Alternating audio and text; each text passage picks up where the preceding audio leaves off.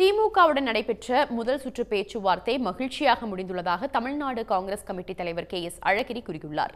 தமிழக சட்டமன்ற தேர்தலில் தொகுதி பங்கீடு குறித்து தோழமை கட்சிகளுடன் திமுக தலைமை பேச்சுவார்த்தையை தொடங்கியுள்ளது. இன்று அண்ணா அறிவாலயத்தில் காங்கிரஸ் குழுவினர் திமுக தேர்தல் குழுவினருடன் பேச்சுவார்த்தையில் ஈடுபட்டனர். அப்போது திமுக கூட்டணியில் காங்கிரஸ் கட்சி போட்டியிட விரும்பும் தொகுதிகள் பட்டியல் அளிக்கப்பட்டது.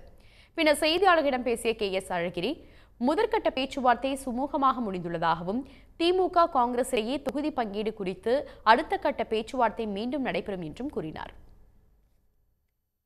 எங்களுடைய மூத்த தலைவர்கள் உம்மன் சாண்டி அவர்களும் சுர்ஜித் வாலா அவர்களும் தினேஷ் குண்ட்ராவ் அவர்களும் திராவிட முன்னேற்ற கழக தலைவர்களோடு கூட்டணி சம்பந்தமாக பேசியிருக்கிறோம்.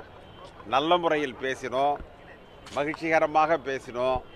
எங்களுடைய கருத்தை நாங்கள் சொல்லியிருக்கிறோம். அவர்களுடைய கருத்தை அவர்கள் சொல்லியிருக்கிறார்கள். நாங்கள் இரண்டு தரப்புமே மேலும் அவரவர்கள் கட்சியோடு கலந்து பேசி அடுத்த கட்ட நகர்விற்கு செல்லுவோம் என்பதை தெரிவித்துக் இன்றைய பேச்சுவார்த்தையில் காங்கிரஸ் தரப்பில் தமிழக மேலிட பொறுப்பாளர் தினேஷ் குண்டுராவ் கேரள முன்னாள் முதலமைச்சர் Oommen Chandy Randeep Singh Surjewala K S Alagiri K R Ramasamy ஆகியோர் பங்கேற்றனர். திமுக தரப்பில் பொதுச் செயலாளர் Duraimurugan T R Baalu K N Nehru Kanimozhi T K S Elangovan ஆகியோர் இடம்பெற்றனர்.